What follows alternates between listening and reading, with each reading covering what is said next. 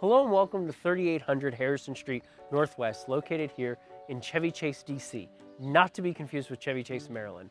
We're located in Upper Northwest. We have a wonderful home for you to tour today, featuring over 5,100 square feet. Come on, let's take a look. This home has been in the same family for over 50 years, which is wonderful because you can see all the care that they've put into this home and maintaining it and all of its wonderful features as we're going through here. We'll see how many things I can back into throughout this video. In previous takes, I've hit this table at least twice. And so with that, we come into the foyer.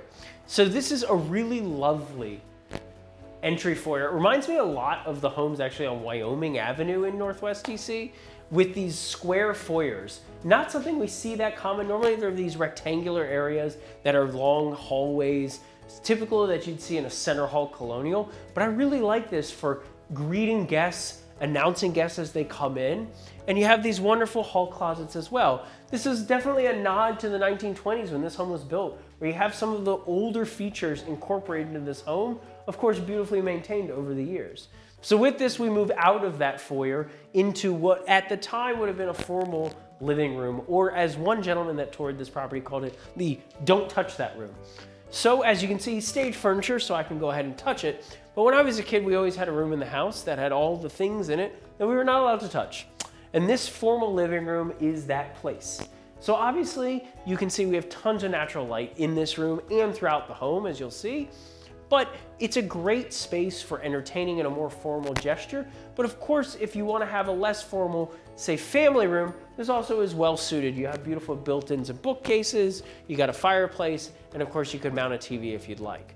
So as you go through the living room back across the foyer, you enter into the dining room. So it'll take you there.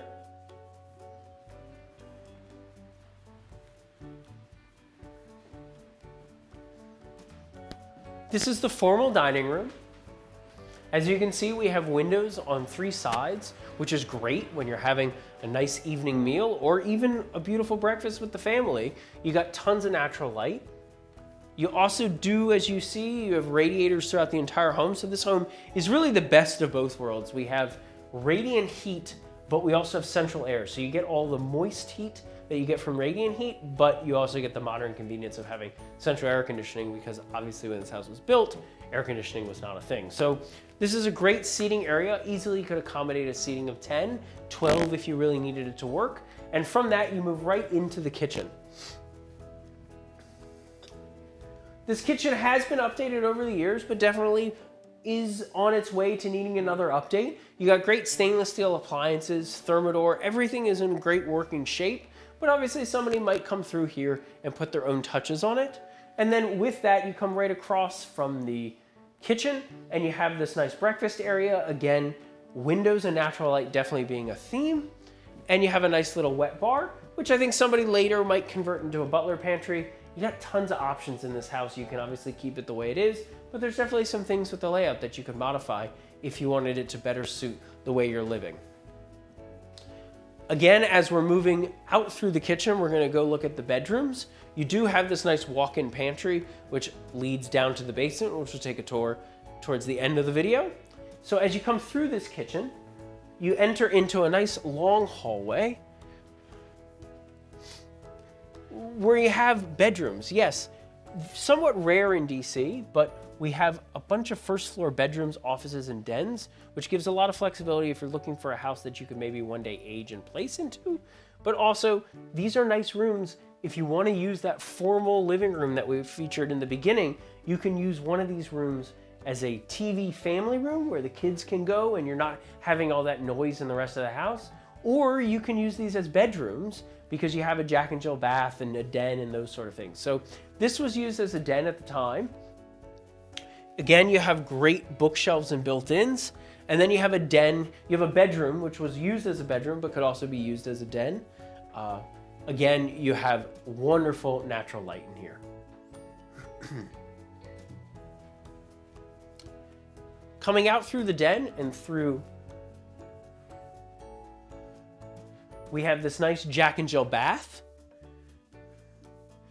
So if you structured this as a bedroom, if you say wanted people on the first floor, you do have a Jack and Jill bath to give you some privacy for using the restroom and bathing while still living on the main level.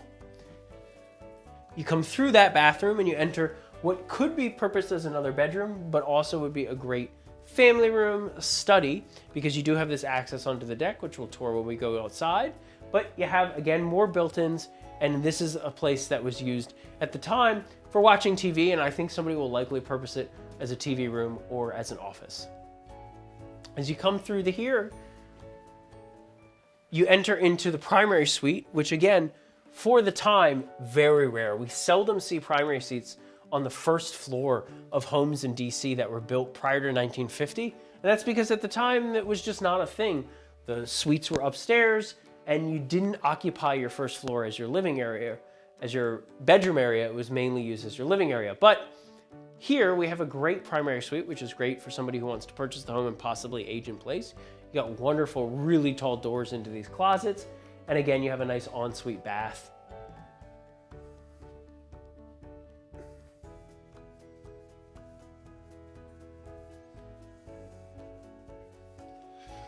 So with that, we're gonna go upstairs and take a tour of some of the features we have up there. We'll see you up there in a second. Up here on the second level, we have two bedrooms and an incredible great room. That's the best word for it. So on the second level of the home, we have a great full bath to serve the bedrooms up here.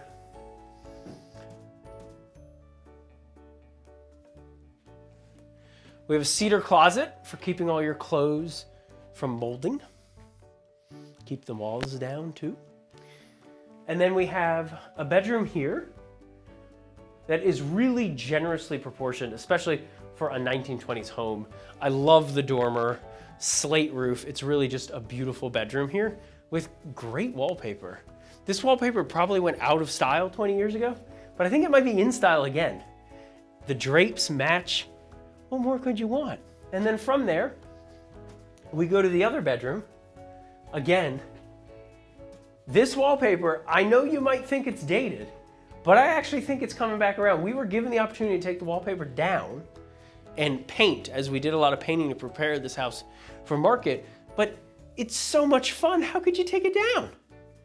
So we have two bedrooms up here, and then we have a incredible great room, which I think either could be used as a living room if you wanted to have a living room up on your second level, or could be converted into two bedrooms or an incredible master suite. I mean, take a look at all this space. So we believe, we have no evidence for this, but it's just a hunch that this might have been an addition to this house. These folks have owned this home for over 50 years. They didn't do this. They're the fourth owner of this home built in the 1920s, but we think maybe at some point somebody added an addition on this house and built this giant room. It is amazing. I think somebody probably one day will make it a owner's suite, um, but hard to say what you can do here. You've got tons of options. You've got huge skylights, tons of natural light. You've got these incredible closets. I mean, in some houses in DC, this is a whole bedroom. Come take a look. And you have a second closet just on the other side. Right as you enter, you have this second large closet as well. Tons of storage.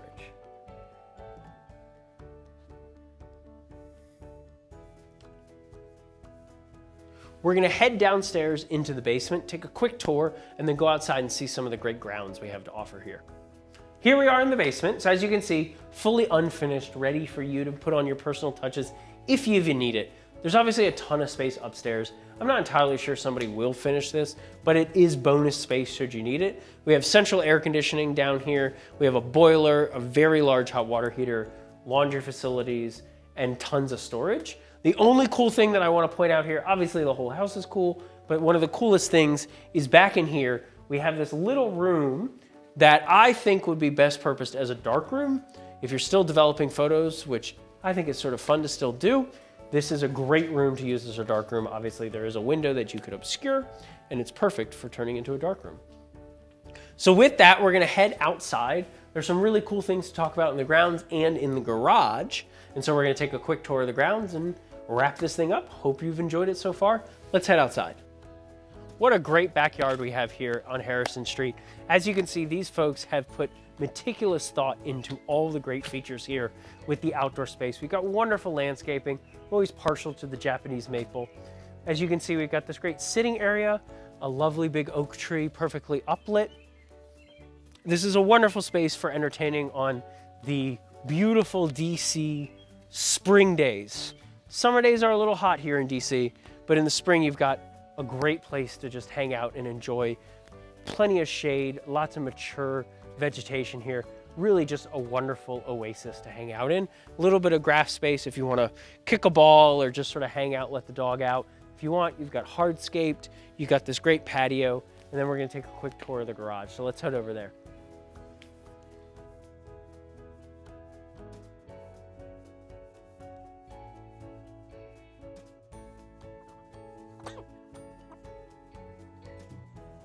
into the garage we go. So as you can see, we have two bay doors here for the garage. Could fit two cars, but we have a little bit of a hidden feature that makes probably the second car a little bit hard to fit. So we can fit one car, maybe some bikes, trash cans, a motorcycle or a scooter if you have it. But then you've got this great little space, which is so seldom found, especially in homes in upper Northwest.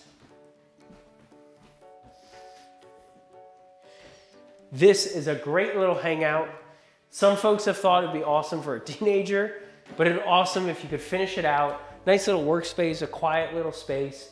Obviously you might redo it a little bit, but something you never really see here in upper Northwest DC. Right now, if you wanted to build it, I don't think you'd be allowed to build the finished space above the garage, but here you have it, grandfathered in. What a really neat little extra. So with that, that concludes our tour of 3800 Harrison Street, located here in Chevy Chase, DC. If you have any questions, feel free to message us. If you wanna see us tour another home in Upper Northwest, we have another one coming up shortly, and we look forward to seeing you on the next one. Thanks.